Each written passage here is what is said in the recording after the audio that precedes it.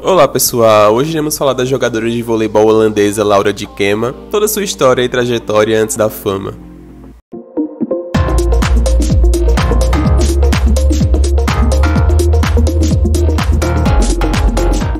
Laura Chantal de Kema nasceu em 18 de fevereiro de 1990 em Beilen, na Holanda.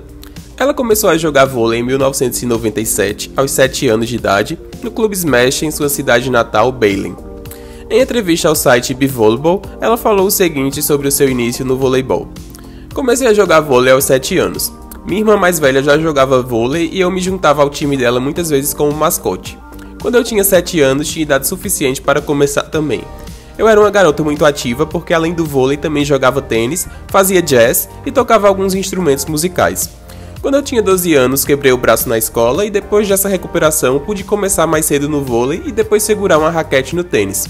Então foi nessa época que decidi continuar jogando vôlei. Em 2006, aos 16 anos, ela teve a primeira experiência na Liga da Holanda, onde jogou no DOK de Divingelo. Em 2010, de Kema estava jogando na Turquia quando teve sua primeira convocação para a seleção holandesa no Montreux Volley Masters. Durante a carreira, ela teve diversas passagens por clubes internacionais, entre os quais de 2006 a 2011 jogou em alguns clubes na Holanda, entre eles o Vingelo e o Martinus.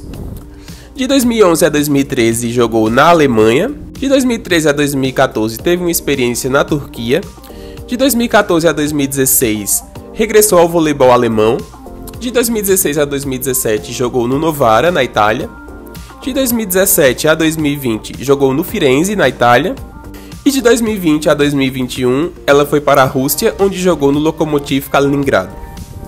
Um momento bem importante na carreira de Dikema foi em 2016, quando ela foi convocada para a seleção feminina da Holanda, que participou dos Jogos Olímpicos do Rio de Janeiro.